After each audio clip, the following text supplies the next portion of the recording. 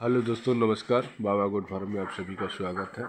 बहुत दिन बाद फिर आप लोगों के सामने रूबरू एक वीडियो जा रही है।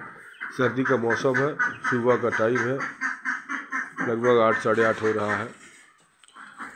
इतना मेंटेनेंस करने के बावजूद भी इस सीज़न इस सर्दी में मेरे फार्म में पाँच मॉडलिटी हुई है।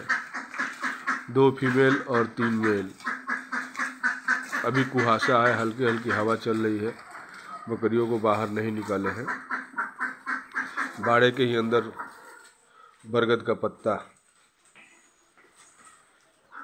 ये पठिया है, फ़र्स्ट बार की प्रेग्नेंट है अभी। ये खस्सी है। ये दूसरी बार में समय से पहले बच्चा इसका आ गया। बिटल क्रॉस बच्चा था। दोनों बच्चे की मैलिडिटी हो चुकी है।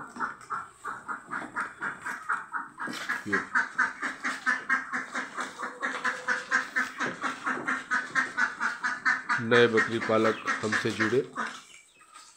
जो पुराने हैं, उनके पास तो काफ़ी अनुभव है। जो नए हैं, उनके लिए जो कुछ मेरे पास जानकारी है, उनके साथ मैं शेयर करूँगा चैनल के साथ जुड़े। बकरियों के साथ कुछ मुर्गियाँ भी है, जो अभी कुछ इस चौकी के नीचे है, कुछ इस चौकी के नीचे है। दो पीस देखिए, ये बतख का है, खाकी कैंपल है। ये लोग अपना हला कर रहे हैं।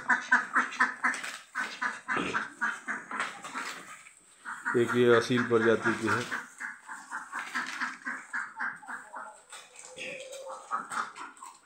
एक ये कड़कनाथ है, उधर भी एक है।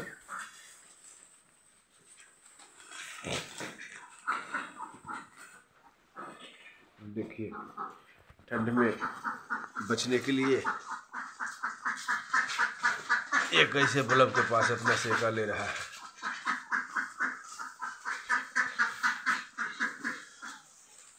दो बच्चे इसमें है। पाँच बकरियों ने नौ बच्चे को जन्म दिया जिसमें दो फीमेल, सात मेल, पाँच की मोलिडिटी हो चुकी है, चार मात्र मेरे पास बचे हुए हैं। इस बार का सीज़न मेरे लिए सबसे बड़ा लॉस का सीज़न रहा। सर्दी के मौसम में देखिए, ये बल्ब सब जल रहा है। फिर भी नमस्कार दोस्तों।